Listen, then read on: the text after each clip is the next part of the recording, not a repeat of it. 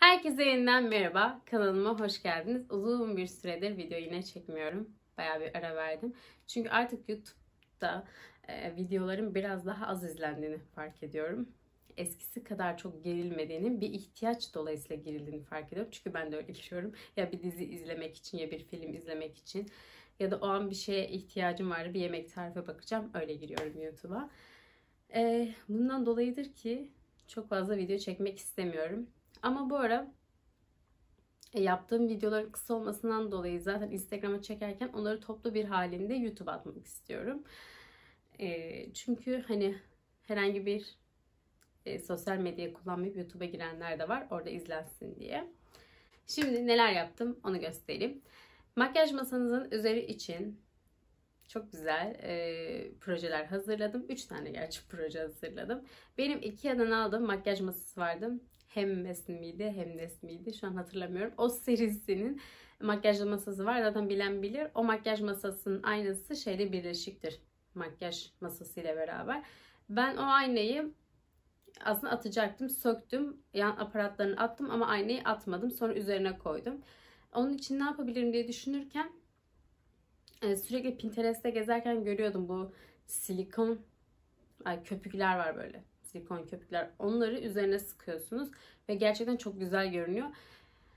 Ee, dışarıdan şu an mesela ben yaptığımda paylaştığımda çoğu insan ha olmamış falan filan diyor ama gerçekten yaptığınızda ve koyduğunuzda aynanızı çok aşırı güzel duruyor. Onu yapmak istedim. Gittim köpüğü aldım. Kesinlikle köpüğü kullanırken eldiven takmayı unutmayın. Eldivensiz yaptığınız an ben şöyle bir yere döküldü. Elimle almak istedim. Elinize yapışır ve elinizi hiçbir şekilde açamazsınız. Ee, kesinlikle mutlaka ve mutlaka eldiven kullanın. Ben 4-5 tane e, eldiven bitirmişimdir çift olarak. Ondan sonra ve kesinlikle alta bir gazete serin derim. Gazete değil aslında gazete belki yapışabilir. Naylon bir şey yapabilirsiniz. Hatta bence şey yapabilirsiniz pardon söyleyeyim. Pişirme kağıtları var ya pişirme kağıdı koyup onun üzerine koyun. O yağlı kağıt olduğu için çıkarması daha kolay olur. Ee, çok kısa sürede yani bir saatlik bir sürede zaten tamamen kurumuş oluyor. Alıp aynanızı koyabilirsiniz. Onun dışında bununla ilgili söylemek istediğim böyle bir detay var mı diye düşünüyorum. Herhangi bir detay yok, herhangi bir şekil yok. Tamamen böyle istediğiniz gibi sıkabilirsiniz. Önemli olan burada böyle kuralları değil, farklı farklı şekillerde güzel durabilmesi. Dediğim gibi köpeğe çok dikkat edin. Koçtaş'tan aldım. Fiyatı böyle çok çok 18-19 liraya böyle bir şey aldım sanırım. Çok çok pahalı değil ve içerisinde bayağı kalıyor. İstediğiniz herhangi farklı yerlerde yapabilirsiniz. Bu bildiğimiz kapıların arasına sıkıştırılan köpüklerden. Ee, bakalım nasıl yapmışım. Zaten anlattım gerçi burada ama siz gene de izleyin bakalım nasıl yapmışım.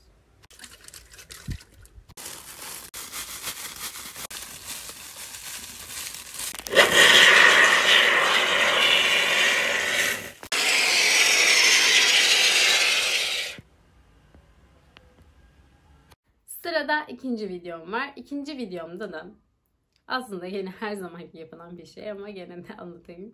Onun videosunu niye çektim? Ben şey videolarını çok seviyorum. Şu böyle tıkır tıkır tıkır sesler çıkıyor böyle çok seviyorum. Onun içine taşlar koyacağım için bunu da videosunu çekmem o zaman fıs fıs sesler geliyor falan. O yüzden çekmek istedim.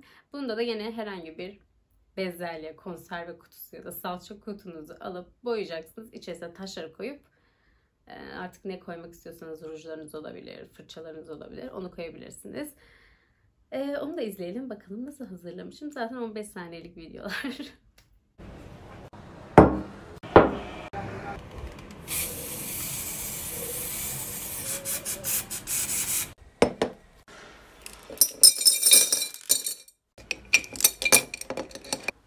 Sırada üçüncü videom var. Üçüncü videom içime en çok sinerek yaptım ve yapacağım, yaparken de çok tutacağını düşündüğüm bir video. Hem Instagram'da hem TikTok'ta baya baya tuttu.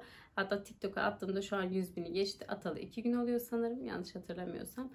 Ee, bayağı sevildim. Ben evde herhangi benim kutularım vardı.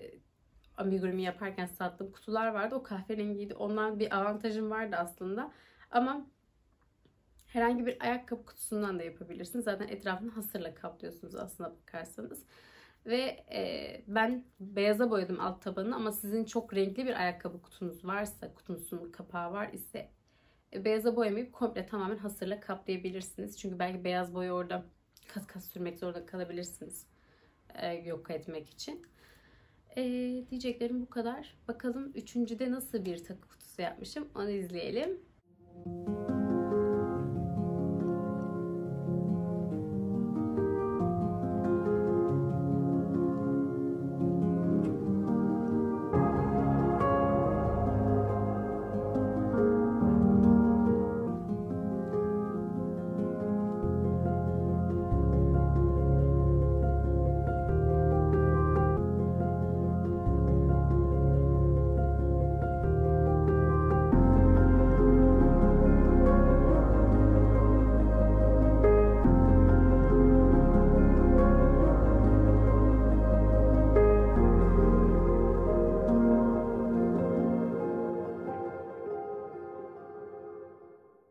Evet buraya kadar izlediniz. Nasıl buldunuz? Yorumlarınızı aşağıya bekliyorum. Kanalıma abone olmayı e, unutmayın lütfen. Bir sonraki videoda görüşmek üzere. Bay bay.